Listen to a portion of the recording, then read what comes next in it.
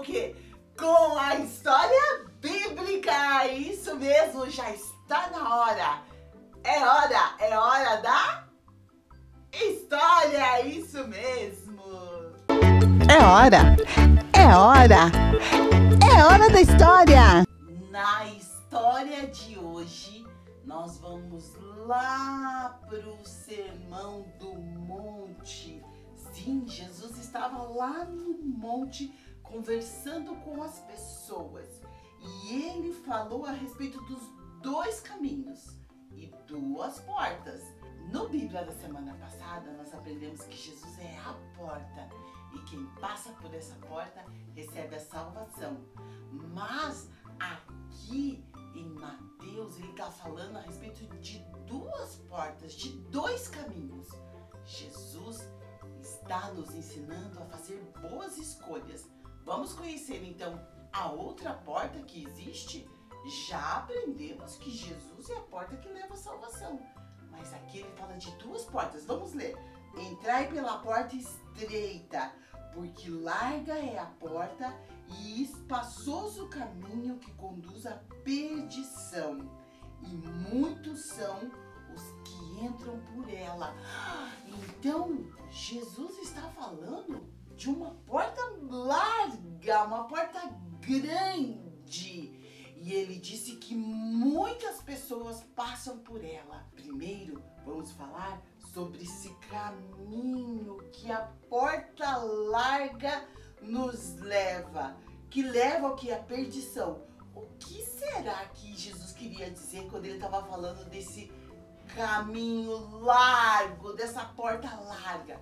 Ele estava falando das coisas erradas que a maioria das pessoas fazem. Vamos ver então? Vamos conhecer esse caminho? Vejam esse caminho! Como ele é cheio de coisa!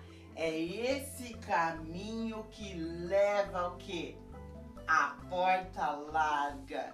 Então, nós vamos conhecer um pouquinho desse caminho. E eu tenho aqui algumas placas de trânsito para nos ajudar, porque quando a gente está no caminho, na rua, tem as placas de trânsito, não é verdade? Então, a primeira placa que eu quero mostrar para você, ó, que é um caminho sinuoso, cheio de curva, é um caminho perigoso. Quando a gente vê essa placa lá no trânsito, a gente sabe que precisa tomar muito cuidado, porque é cheio de curva. Olha o que diz aqui. Não seguir os ensinos de Jesus não é uma coisa boa Tome muito cuidado. Contar mentira para os outros. É, todo mundo conta aquela mentirinha, né? Mas isso não é pra gente. Roubar coisas que eu desejo. Às vezes eu quero ter coisas e meus pais não podem me dar. Ah, vou pegar do meu amigo. Oh, oh. Pare, isso é muito perigoso. Não pegue coisas que não são suas. Não conte mentira para os outros. É, isso daí pode te trazer muitos problemas. Não obedecer aos pais. Às vezes os pais dizem pra gente: não faça, não faça. A gente não obedece. Colar na prova. Todos os meus amigos colam, eu também vou colar. Não entre nessa, isso é uma fria. Colar é errado. Veja o que, que as placas têm nos ensinado. Se vingar, alguém fez algo pra mim, eu vou fazer igual, vai me pagar. A vingança não é uma coisa boa.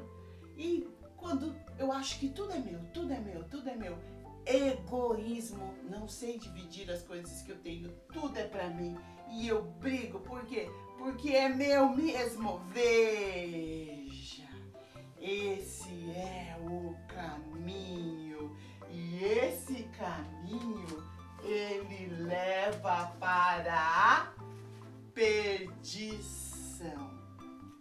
Sabe, amiguinho? Sabe, amiguinha? Muitas vezes você vai ver que todo mundo. É, parece que é mais fácil seguir o caminho errado, né? Por quê? Porque ele é largo, porque a porta é larga. Parece que é mais fácil, mas cuidado, esse caminho é uma área muito perigosa. Continuando a ler o texto de Mateus 7, agora a gente vai ler o versículo 14. E porque estreita é a porta e o caminho que leva à vida, e poucos há que a encontrem.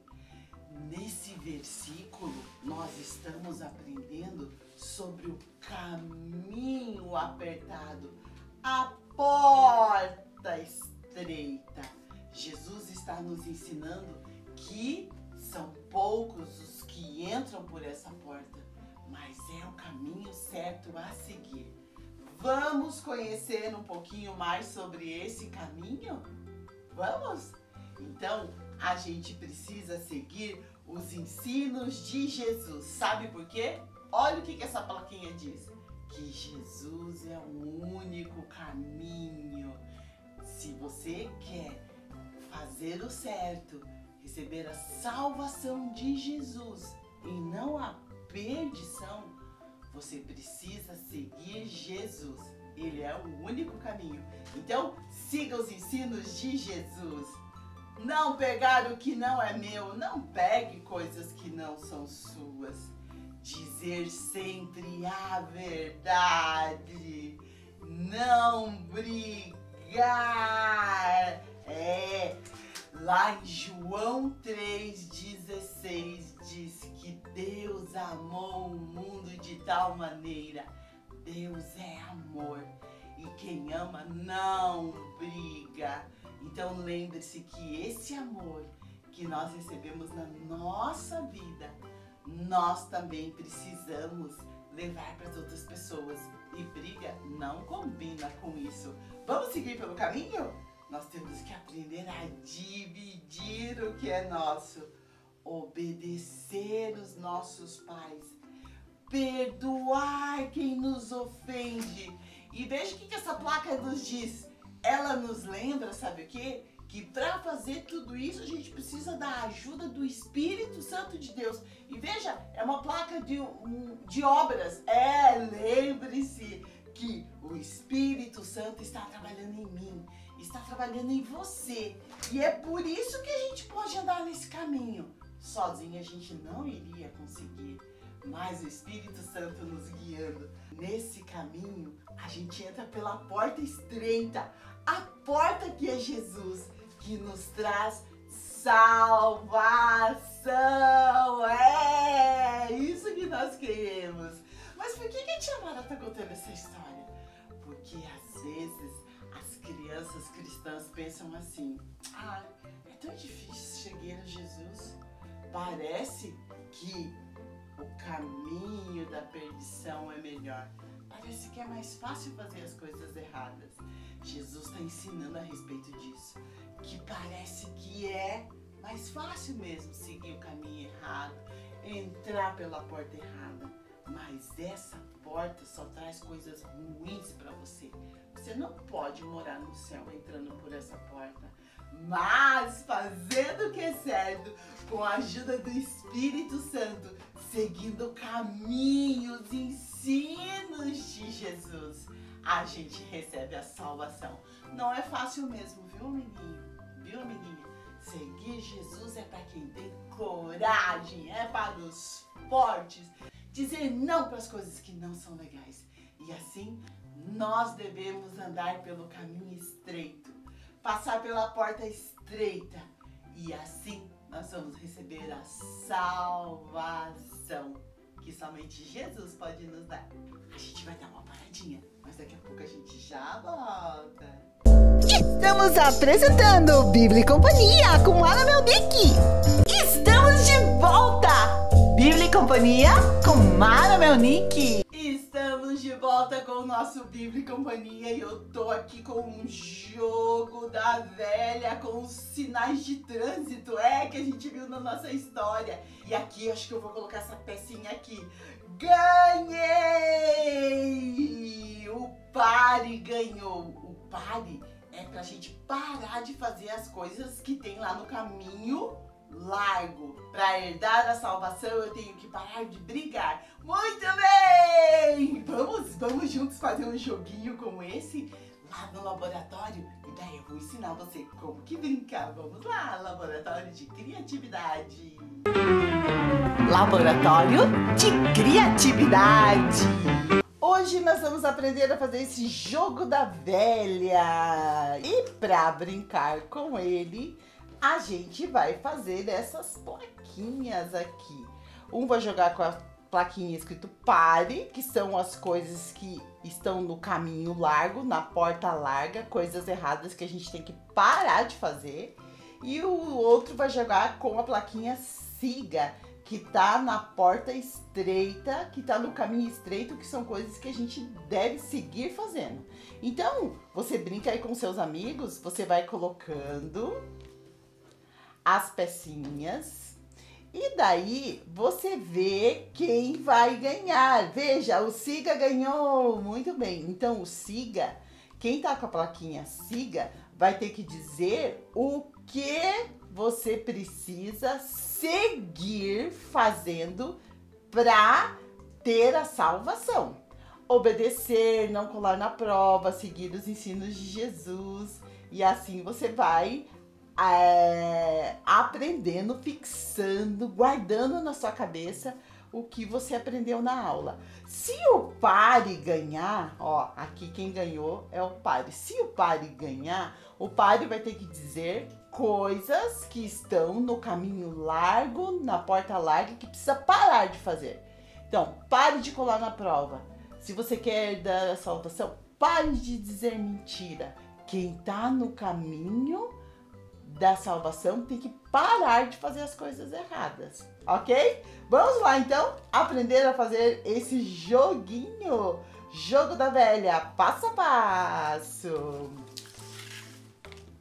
Para fazer esse jogo você vai precisar de tesoura, régua, umas fitinhas de papel colorido assim, papelão, cola as suas canetinhas e seus giz de cera. Muito bem. Então, você corta um pedaço de papelão aí. Isso aqui é uma caixa de leite, ó.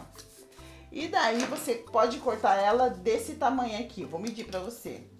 Ó, aqui tem 18,5 e aqui tem 17, tá? Corta aí do tamanho que você quer. Esse aqui foi esse tamanho. E daí você vai preparar a segunda parte do tabuleiro do jogo da velha. Ó, tá muito grande essa fitinha aqui. Vou cortar um pouco. Vou deixar ela um pouquinho menor. E já passo a medida aí pra você. De quanto que ela vai ficar. Então, vou cortar todas do mesmo tamanho. Assim, ó. Legal esse jogo, né? Feito com material reciclável. E enquanto você está brincando, você está relembrando tudo que você aprendeu. Olha que legal! Vamos ver com quanto ficou? Ela tá com 15 centímetros, tá bom? Então agora a gente vai colar aqui as amarelas. Pra fazer o tabuleiro, né? As amarelas vão ficar aqui. E as rosas vão ficar aqui. Tá? Vamos passar cola aqui. Não é difícil de fazer, né? É bem facinho. Se você quiser fazer com canetinha e ao invés de colar papel, riscar com canetinha colorida, também pode tá bom? Mas com papel fica mais divertido, né? Fica mais alegre. Muito bem, vamos fazer as pecinhas agora. Você pega um outro pedaço de papel, E você vai recortar desse papel retângulos assim, que a gente vai fazer os dois tipos de peça, tá? A primeira peça, a gente vai fazer assim, ó. Você pega o retângulo e você vai tirar um pedacinho aqui, outro pedacinho aqui, outro aqui e outro aqui. Essa aqui vai ser a plaquinha pare. Ó, já tenho duas plaquinhas pare aqui. Para fazer o siga, você vai fazer o seguinte, você vai pegar a pecinha e você vai arredondar os cantos assim. Ó. Corta arredondando os cantos. E daí você já vai ter a plaquinha siga. Essa daqui eu vou fazer a mesma coisa. Vou tirar um pouquinho aqui que tá meio grande. Depois que você fez a primeira, você pode fazer todas as outras do mesmo tamanho, tá bom? Ó, é só arredondar. Na verdade, esse daqui é quadrado, tá? Faz essa pecinha primeiro quadrada e depois você recorta aqui. Assim. Essa daqui é mais retângulo. Você começa com retângulo. Essa daqui você começa com quadrado, uma pecinha quadrada que fica mais fácil de fazer. Tá bom? Vai cortando aí, vai dando teu jeitinho, vai dar certo. Agora nós vamos pintar. O siga nós vamos pintar de amarelo. Siga. Siga fazendo o quê? Contando a verdade. Siga. Não brigando, siga. Seguindo os ensinamentos de Jesus. Siga. Siga quer dizer continue fazendo toda vez que você fizer, você tem certeza que você tá no caminho estreito que leva à porta estreita que dá salvação. É. Agora, mentir, pare. Essa placa aqui é de pare. Brigar, pare de brigar. Colar na prova, pare. Não seguir os ensinos de Jesus. Vai na igreja, aprende um monte de coisa, faz tudo diferente. Lê a Bíblia, a mãe e o pai faz o culto no lar, mas você não segue, faz tudo diferente. Pare, pare. Porque quem tá na, nesse caminho é um caminho que não leva a salvação, leva a perdição. É sério, né? Ó, já pintamos, agora chegou a hora da gente escrever. Então eu vou fazer aqui primeiro a bordinha da placa. Olha que bonitinho que vai ficando. Essa bordinha. Assim. E vou escrever siga. Vou colocar ela assim, vou escrever siga.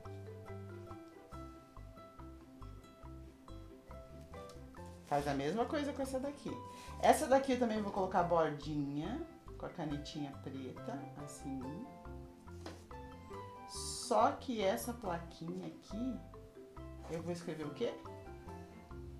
Pare, isso mesmo, pare.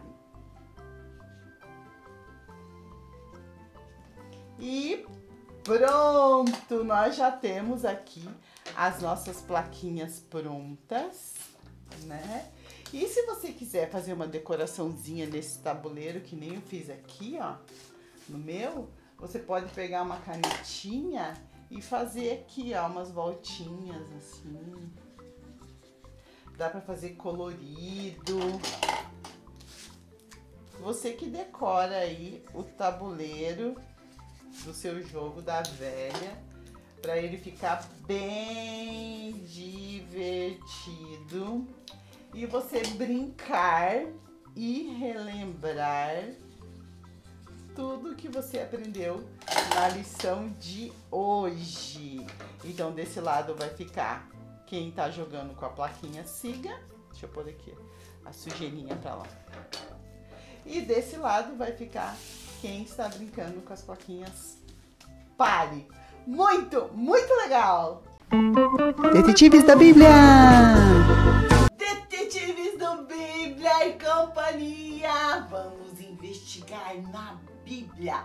A pista que me deram hoje é que quando a gente está na escuridão, a gente precisa procurar a luz. Vejam, ficou tudo escuro. Vamos, vamos procurar a luz. Ei, achei! Olhe! A luz! Vamos seguir esse caminho da luz para ver aonde que vai dar. Achei!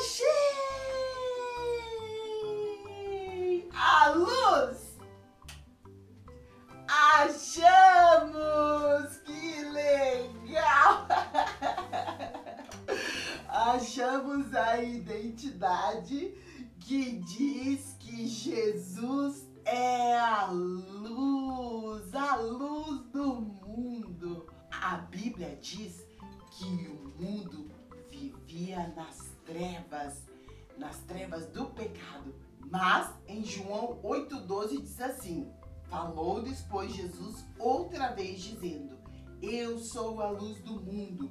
Quem me segue não andará em trevas, mas terá a luz da vida. Que lindo! Jesus disse que ele é a luz do mundo.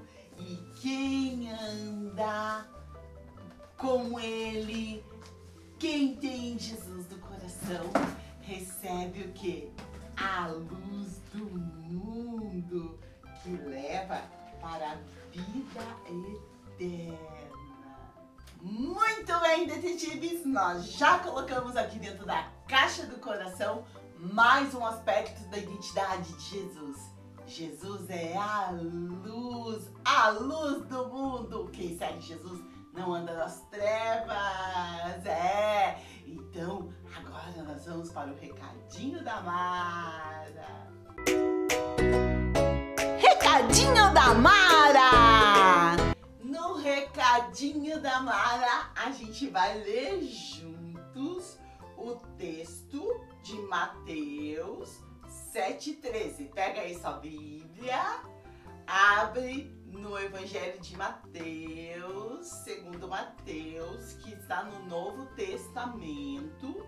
O número grandão é o 7 e o pequenininho é o 13. E é sobre isso que nós aprendemos hoje, sobre os dois caminhos. Então diz: entrai pela porta estreita, porque larga é a porta e espaçoso o caminho que conduz à perdição e muitos são os que entram por ela. E porque estreita é a porta e apertado o caminho que leva à vida, e poucos há que a encontrem. É. O texto de hoje nós vimos na nossa história, né? Na hora da história. E nós aprendemos sobre os dois caminhos, as duas portas, que essa porta larga, que o caminho é largo, é um caminho sinuoso, cheio de curva, que muitas vezes a gente está em área perigosa. E o melhor é a gente não entrar por esse caminho. Esse não, entre por esse daqui. Jesus é o caminho da porta estreita. Ele nos amou, por isso ele morreu em nosso lugar. E lembre-se que para fazer tudo isso daqui, ó, que tem no caminho estreito, dizer a verdade, não brigar, não se vingar, nós podemos fazer tudo isso porque o Espírito Santo de Deus está trabalhando na nossa vida e por isso nós podemos sim andar por esse caminho e entrar por essa porta que nós já vimos, que leva à salvação. Nosso programa foi lindo! Que lição importante, na é verdade? Com essa lição, nós finalizamos o Discipulado Kids, onde nós aprendemos sobre quem é Jesus. Finalizamos com chave de ouro. Continuamos andando no caminho que leva à salvação. O caminho é Jesus. Tchau, fiquem com Deus. Até o nosso próximo encontro aqui no Bíblia Companhia. É eu aqui, você aí, a gente na rede super aprendendo mais sobre a palavra de Deus. you got.